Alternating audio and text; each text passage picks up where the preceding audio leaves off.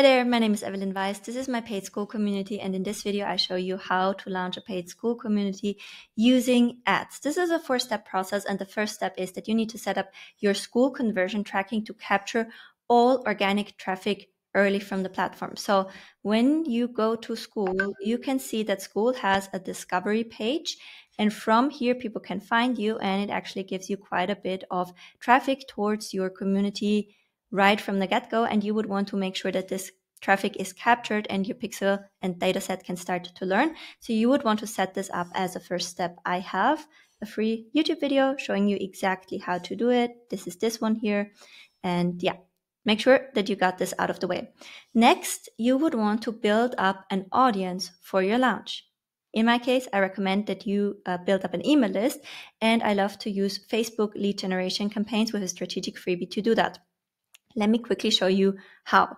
Okay, so first, this is the campaign objective that we're optimizing for leads. And then we're going for instant forms. Those are the ones that pop up on Facebook. You can directly enter your email and then you need to connect it with either Make, Zapier, or Pabbly to your email marketing tool, which, you know, is ActiveCampaign or MailerLite or whatever you're using, right? So that the people who opt for your strategic freebie on Facebook, their email address gets directly added to your email autoresponder, you tag them or add them to a group that triggers a delivery automation. They get the email with the strategic freebie, strategic freebie that they opted in for, and now you can send them nurture emails. Right, so I quickly want to show you an example. My Facebook ads library here. Um, so this is these are currently my ads. These are audience growth ads where I'm growing my email list, and these are all ads that go directly to my paid Skool community. And as you can see here, I'm giving away a launch ads cheat sheet and uh, when people click on this, a form pops up, they enter their email and they get directly to my email marketing tool. So now that people are getting on your list, what do you do to warm them up and nurture?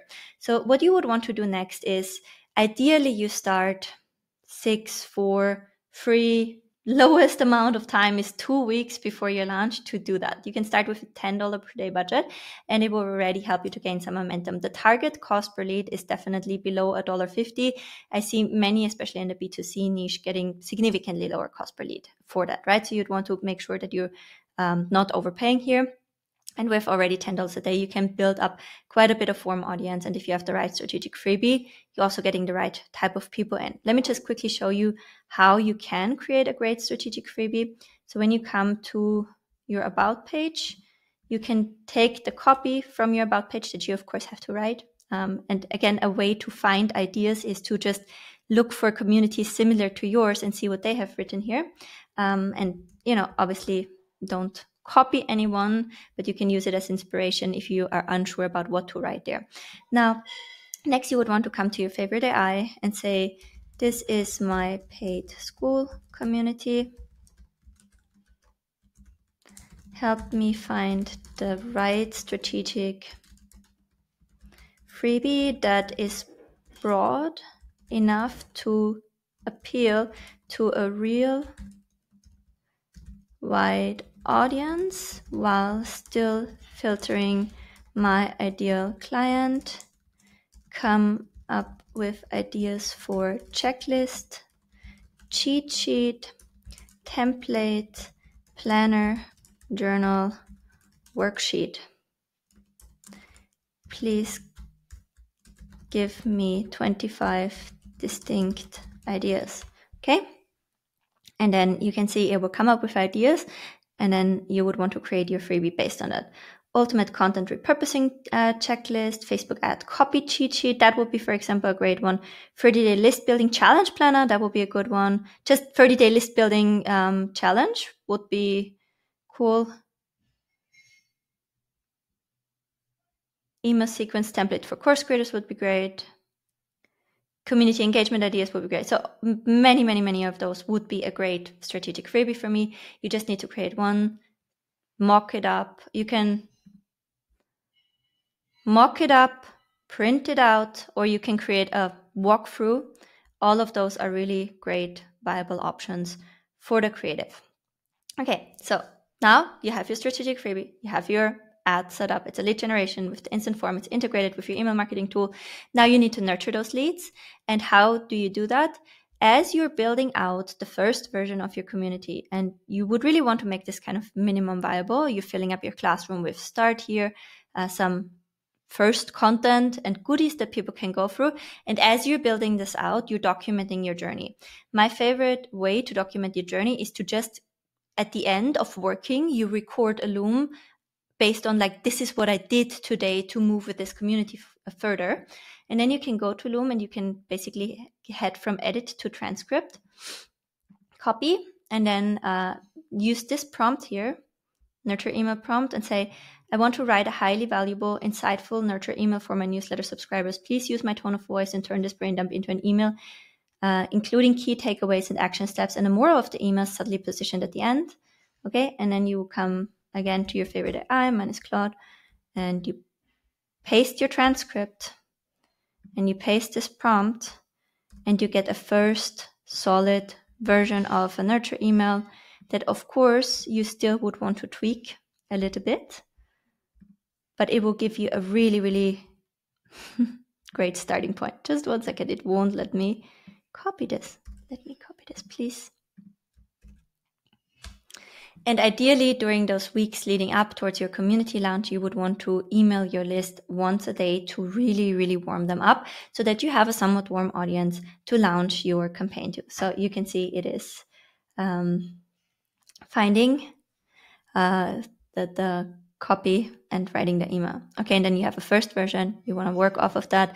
Whenever you're sending something to real humans that invest their time reading, you would want to be mindful that it's actually adding value. So go in and edit and make changes.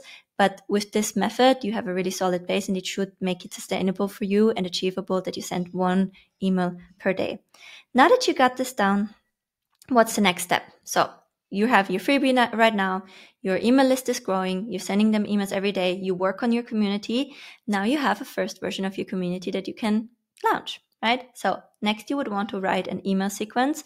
I like to do it five days with free reminders on the last day, inviting people to your community, see what you've built so far, join you early as a founding members rate, build it further with you at the point where they where they have the most attention from you because you really want to make this work, right? And then you send that email to your list and you'll get the first signups. I would on top of that do everything that I can to get more purchase data. I would also post on my socials and I would also reach out to people that might be a really good fit just to get those first purchases collected because it will really kickstart your pixel and um, data set on Facebook. So Facebook will get an idea from every purchase that is happening that is now collected because you set it up. Facebook will have data and it will have a much easier time finding you a buyer when you now, because the community is ready, are in a place that you run ads directly to your about page using a sales campaign.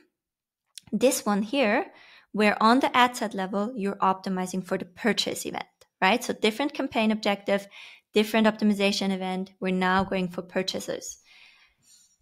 And here you can see some of my best purchaser ads. Um, so I have these quiz style ads, I have lifestyle images. Here right now, I'm having a notification because I'm actually putting my um, group on waitlist because it gets a lot and I still want to be able to serve well. So I'm capping my membership actually, um, also because I'm at the moment building out a mastermind.